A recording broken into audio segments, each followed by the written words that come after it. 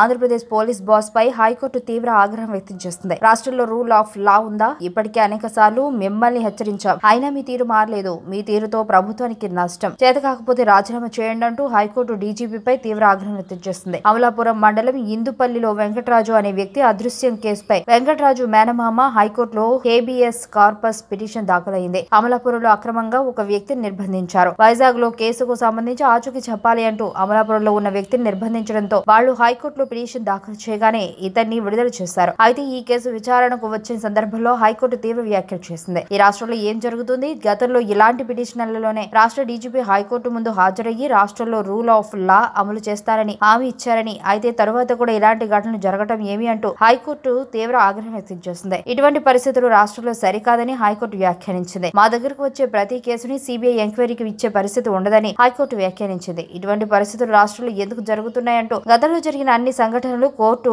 గుర్తు చేసింది ఇటువంటి పరిస్థితి సరైనది కాదని మీ తీరుతో ప్రభుత్వానికి ఇబ్బందులు వస్తాయని కోర్టు వ్యాఖ్యానించింది. గతంలో విచారణ జరిగిన ప్రతిసారి పోలీసులదే తప్పని తేలిందని ఆంధ్రప్రదేశ్ రాష్ట్రంలో పోలీసు వ్యవస్థ గాడి తప్పుతుందని హైకోర్టు కీలక వ్యాఖ్యలు చేసింది. ఏపీలో రూల్ ఆఫ్ లా అమలు కావటం లేదని పోలీసు వ్యవస్థని కంట్రోల్ చేయలేకపోతే డీజీపీ రాజీనామా చేసి బాధ్యతల నుంచి తప్పుకోవచ్చని కోర్టు కీలక వ్యాఖ్యలు చేసింది. అయితే ఈ పరిణామంపై పోలీస్ బాస్ ఎలా స్పందిస్తారో చూడాలి. రాజకీయంగా కూడా ప్రతిపక్షాలను టార్గెట్ చేస్తూ ప్రభుత్వం చెప్పినట్టు చేస్తున్నారని అనేక ఆరోపణలు గతంలో వచ్చాయి. మరి ఇంత ఘాటుగా స్పందించిన తర్వాతైనా పోలీసు వ్యవస్థ మారుతుందో లేదో చూడాలి. వార్తావాణి న్యూస్ ఛానల్ ఎప్పటికప్పుడు రాజకీయ సినీ విశేషాలు స్పోర్ట్స్ మరియు సాంకేతిక పరమైన మరెన్నో విషయాలను మన ముందుకు తెస్తుంది. మరింత సమాచారం కొరకు వార్తావాణి న్యూస్ ఛానల్ని సబ్స్క్రైబ్ చేయండి.